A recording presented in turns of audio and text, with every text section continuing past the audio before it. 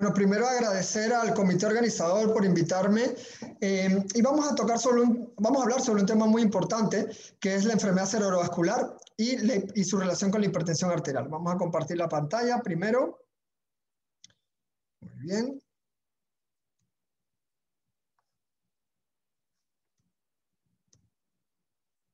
Muy bien, de nuevo, gracias al comité organizador por eh, la invitación y vamos a hablar sobre hipertensión y enfermedad cerebrovascular. Un abordaje un poco diferente, eh, no acostumbrado a lo que siempre vemos desde antes, que es más el evento agudo y qué hacer en el paciente con la enfermedad cerebrovascular aguda, pero vamos a enfocarnos más en la evidencia que tenemos de valores de hipertensión arterial, fármacos, qué dicen las guías para disminuir el riesgo, ya sea como prevención primaria o secundaria de enfermedad cerebrovascular.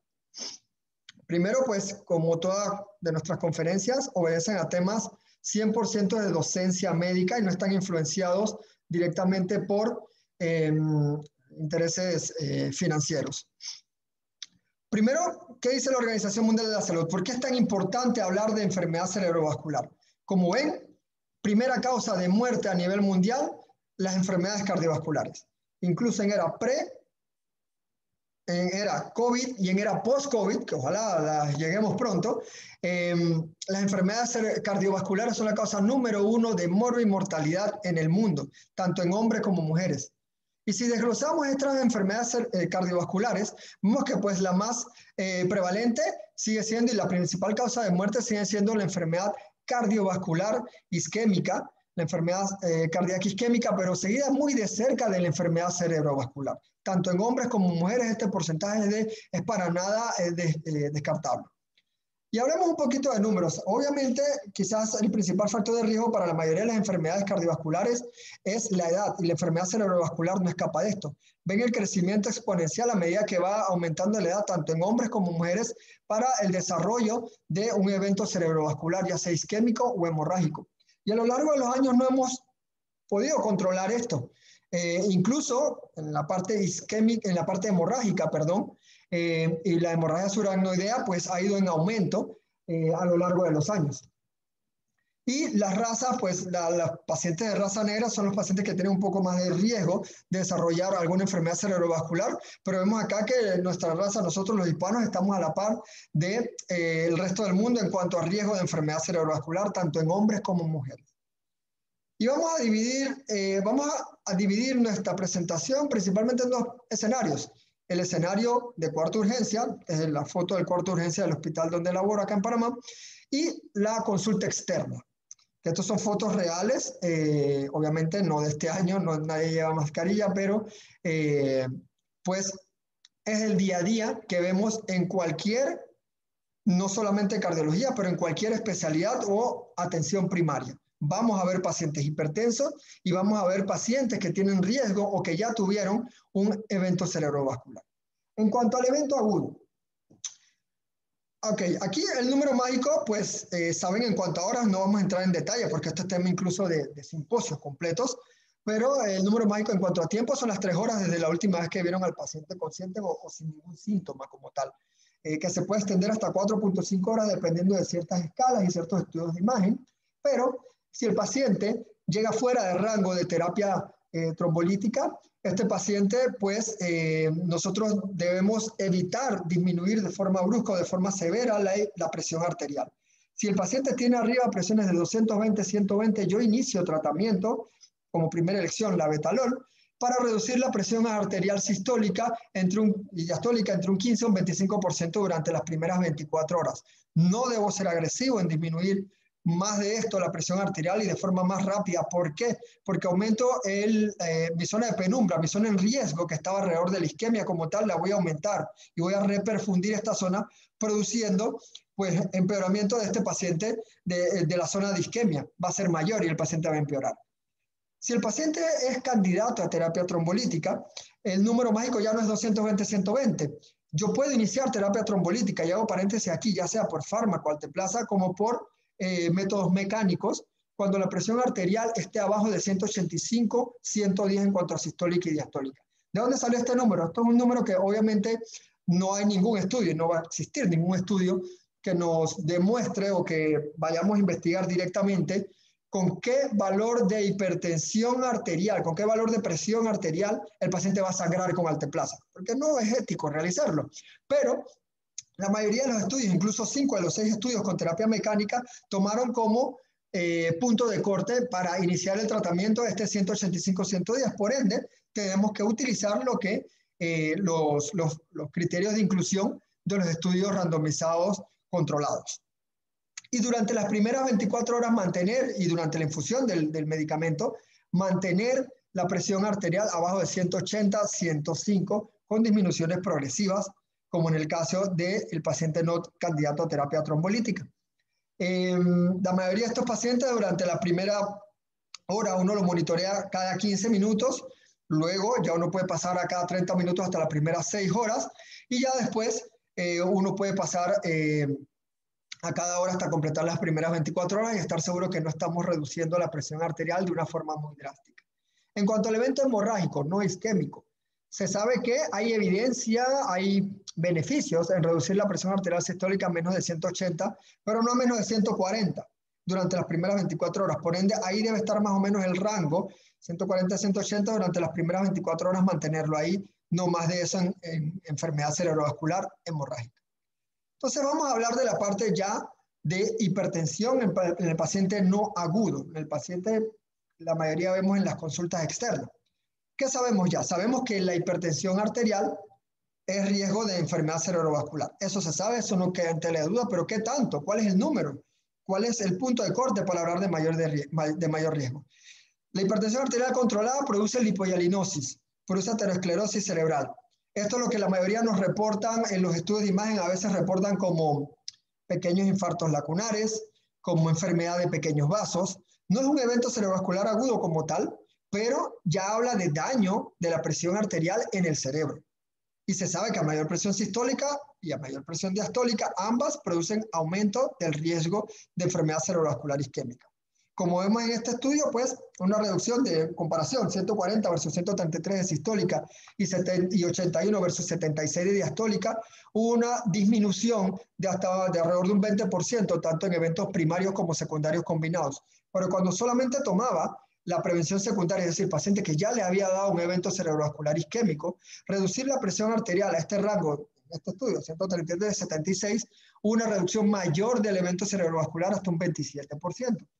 Pero ¿qué nos dicen las guías? Pues estas diapositivas la habrán visto muchas veces durante, estas, durante las conferencias anteriores, que es lo que quizás los americanos y los europeos estamos viendo una de las primeras veces que se ponen de acuerdo en cuanto al manejo de la hipertensión arterial y donde no solo un número, sino es factores de riesgo en relación a este número y a mi paciente.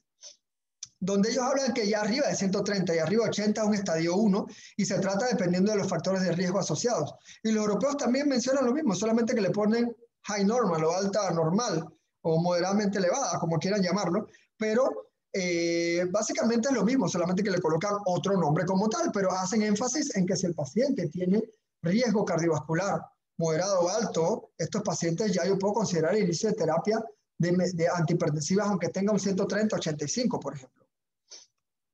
Entonces, ¿qué valores buscamos?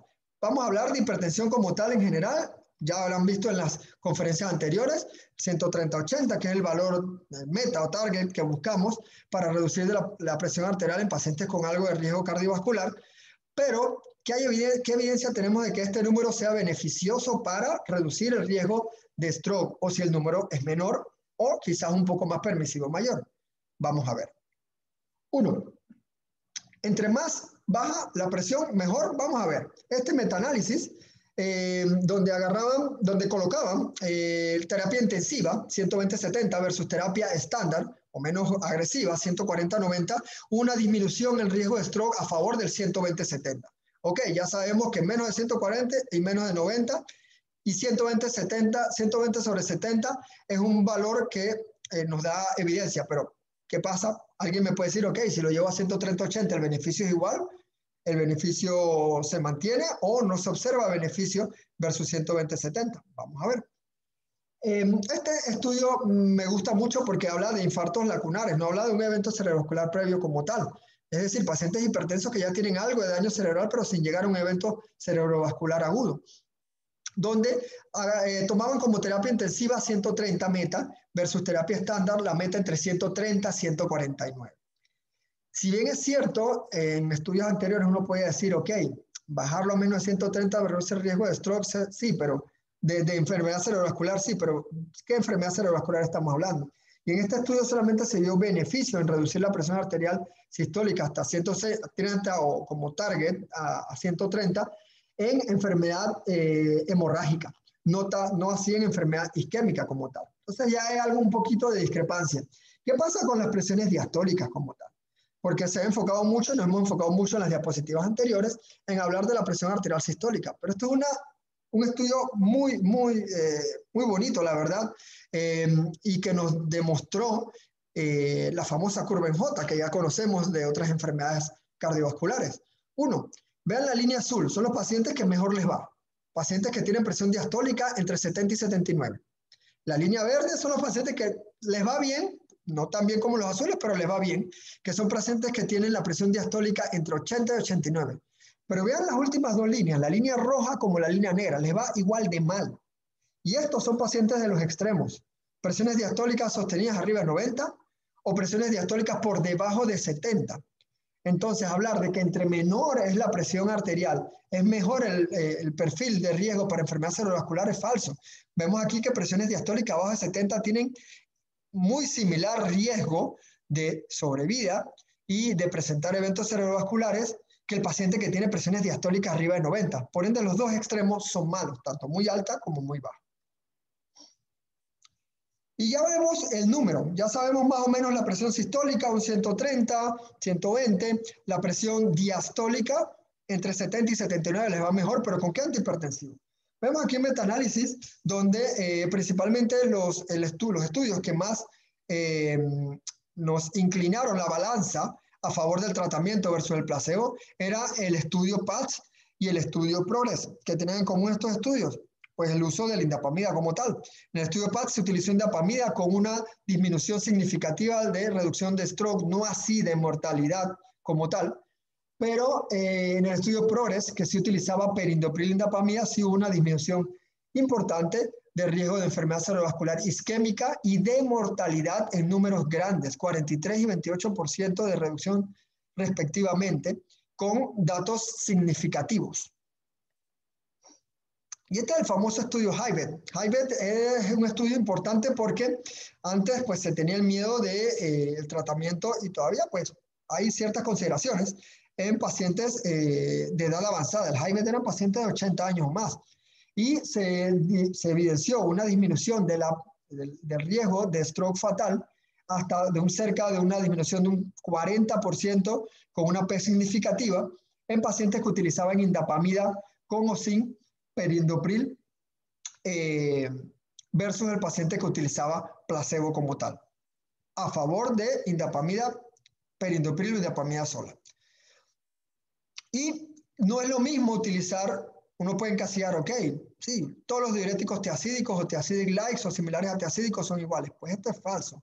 Vemos aquí que los diuréticos tiacídicos puros como tal, como la hidroclorotacida, tienen muy poca evidencia no solamente en enfermedad cerebrovascular, también en otras enfermedades cardiovasculares, pero enfocándonos aquí, la principal evidencia de disminución de eventos cerebrovasculares a largo plazo son los, los, diuréticos tipo tiacídicos, similares a tiacídicos como la indapamida. Y esto se debe a muchas de las... Em, de los datos que ya sabemos de la ventaja de la indapamida versus la hidroclorotiacida. Uno, pues eh, relación valle-pico mayor, mayor cobertura en 24 horas. Estos pacientes también son metabólicos, estos medicamentos es metabólicamente neutro en comparación con la hidroclorotiazida. Em, y la mayoría de los estudios con diuréticos tiacídicos que no son indapamida fueron realizados con clortalidona, no con hidroclorotiazida como tal. Por ende, entre la indapamida y, la hidroclorotiazida, pues yo me voy con los similares a tiacídicos o en inglés los tiacidic en este caso la indapamida con mucho más evidencia como en el estudio PAT y también en el estudio PROGRESS versus eh, tratamiento con hidroclorotiazida para disminuir el riesgo de enfermedad cerebrovascular.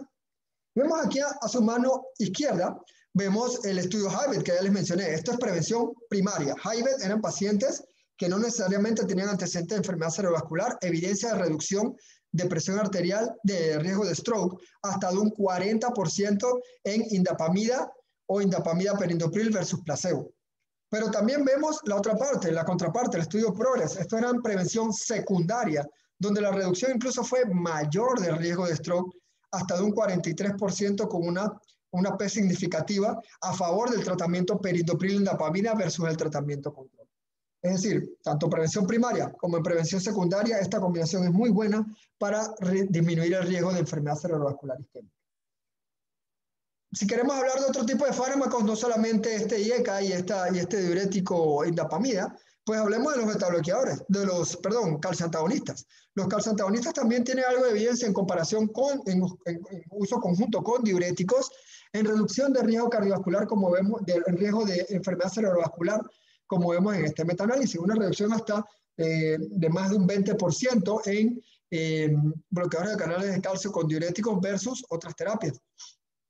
Y al final, pues, la, las sociedades internacionales se ponen de acuerdo, incluso los americanos y los europeos también se ponen de acuerdo. Los tratamientos de primera línea para la hipertensión arterial son los bloqueantes de los, del sistema renina-angiotensina-aldosterona. Y si hablamos de enfermedad cerebrovascular, pues el que lleva la batuta es el perindopril en cuanto a reducción de riesgo de enfermedad cerebrovascular.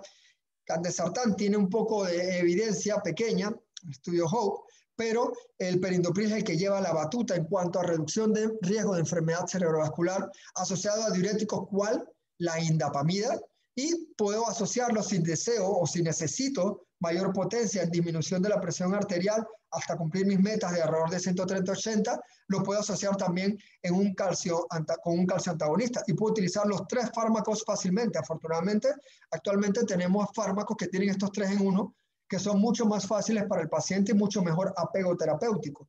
No olvidando que nuestras metas de colesterol LDL en pacientes que ya tienen una enfermedad cerebrovascular establecida, estamos hablando, si lo podemos disminuir a 55 o menos, pues es lo ideal. No hay un valor bajo, peligroso de LDL actualmente eh, evidenciado por estudios clínicos, por ende, bajar el, este, eh, nuestro colesterol LDL y pues el uso de terapia antiplaquetaria. Y todas las guías pues se ponen de acuerdo. Sí, los diuréticos tienen evidencia, pero principalmente los diuréticos similares antiacídicos, la indapamida versus la hidroclorotiacida, que pues no tiene gran evidencia en reducción de múltiples eventos cardiovasculares, incluyendo la enfermedad cerebrovascular. Entonces, estas son nuestras conclusiones, básicamente. Uno, pues los mensajes principales para llevar a casa la enfermedad cerebrovascular es causa importante de morbilidad y mortalidad. Eh, como saben, y por datos de la Organización Mundial de la Salud, causa número uno, enfermedades eh, cardiovasculares, y de número dos, dentro de las enfermedades cardiovasculares está la enfermedad cerebrovascular. El tratamiento agudo depende del tipo de enfermedad cerebrovascular que tenga, ya sea isquémico versus hemorrágico, nuestros valores 220, 120 isquémico, versus hemorrágico menos de 180, paulatinamente en 24 horas, em, pero también depende de si el, candidato, si el paciente es candidato a terapia trombolítica, ya sea farmacológica o mecánica, ya este 220-120 cambia a eh, lo que les mencioné, 185-110. Las nuevas definiciones, que ya no son tan nuevas, pero pues han cambiado a, lo largo de los últimos años, em, de hipertensión arterial, 130, fácilmente yo puedo tener un paciente en fármacos antihipertensivos con 130, 80 o 135, 85 de presión arterial y le puedo iniciar medicamentos si el paciente tiene factores de riesgo cardiovascular asociados. Nuestra meta 130, 80, haciendo un entre comillas aquí, hay alguna evidencia en presiones diastólicas de mantenerlo mejor entre 70 y 79 para reducir el riesgo de enfermedad cerebrovascular. Y la combinación, las mejor combinaciones de fármacos que tenemos para reducir los eventos cerebrovasculares son los el perindopril con la indapamida por los estudios que tenemos poderosos. Y si necesito más potencia, pues también tengo de la mano los calcioantagonistas, principalmente la amlodipina, que es el que más evidencia tiene en estos casos. Así es que no tener miedo de utilizar combinaciones. Eh, se sabe que entre más tiempo perdamos en controlar la presión arterial de nuestros pacientes, es más riesgo de desarrollar algún evento adverso cerebrovascular. Y pues esto es lo que teníamos eh, como presentación en, esta, en, este tema de enfermedad cerebrovascular y, e hipertensión arterial asociada. Muchas gracias.